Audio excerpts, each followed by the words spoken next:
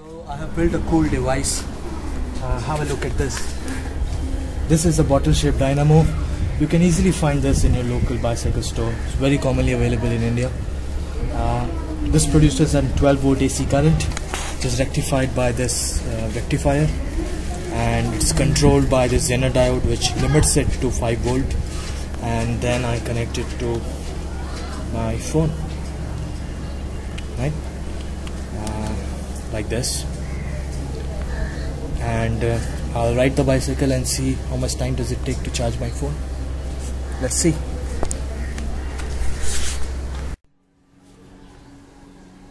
As you can see that the battery icon is blinking indicating that it's not charged.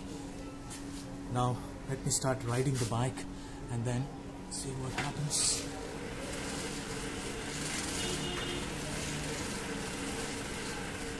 you see it's charging right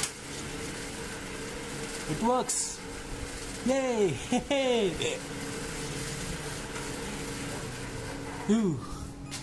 Right, so how do we do it? First thing you need is a dynamo.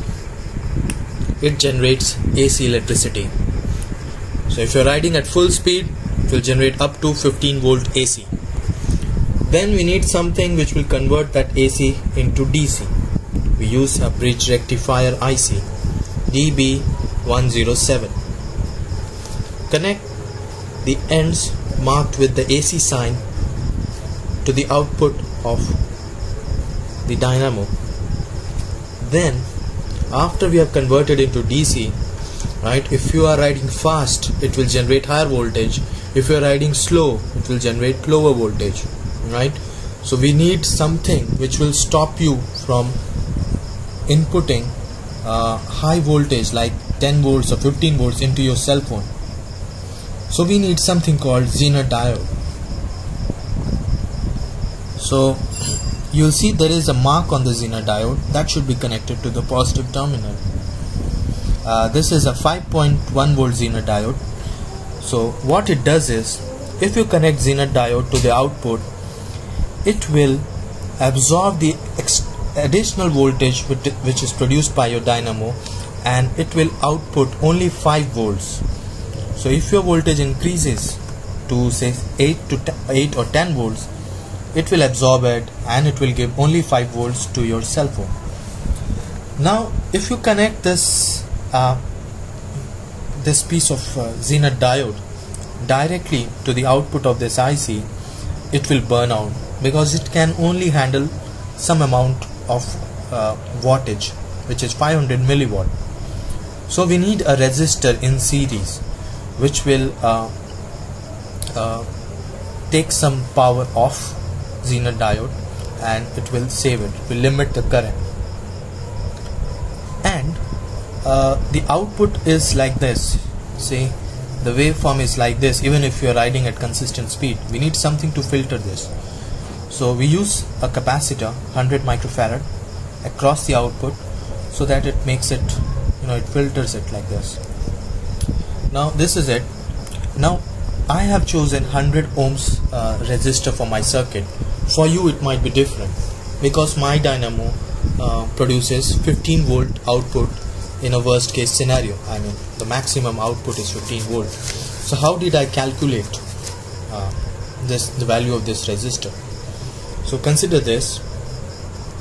Uh, consider the worst case scenario wherein your dynamo produces you're riding at full speed dynamo pr produces 15 volt AC right? So the output here will be 15 volts bridge rectifies it 15 volt DC because you have got Zener diode it will only have 5 volt voltage drop across it. And whatever resistor you connect know the drop across that would be uh, 10 volt assuming that you have not connected your cell phone. So 10 volt across this resistor 5 volt across the Zener diode right? And Zener diode is 500 milliwatts. So the maximum current it can hold is uh, 500 milliwatts that means 0.5 watts divided by the voltage because power is uh, power is voltage into current so Iz max is equal to uh, power which is 0.5 ampere divided by voltage 5 which is 0.1 ampere or 100 milliampere. Now imagine that resistance required is R. So the drop across it we know will be 10 volts. So that would be 10 volts is equal to Iz max which is equal to 0.1 into R so R will be equal to 10 by 0.1 which is equal to 100 ohms. Hence I have selected a 100 ohms resistor out here. Alright so this is a circuit uh, and I have made this circuit on the Vero board and I've connected it to the dynamo and this is the output. I won't show you how to connect it to Vero board it's pretty simple. If you are uh, if you do uh, prototyping then I think you will be familiar with this. You can do it on breadboard also if you're not comfortable with Vero board. And hook this up to your bicycle and attach this somewhere and connect these two to the uh, input of your uh, phone charger and you're good to go. Right so I have taken an old charger cut this end out.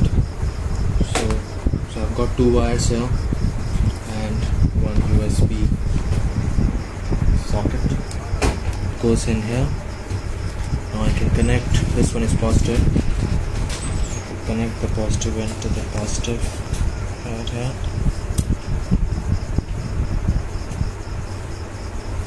Negative to the negative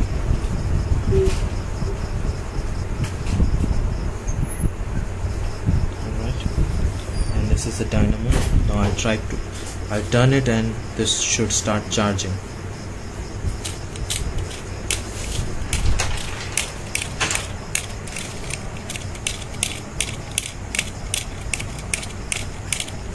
Hey, hey, it's charging.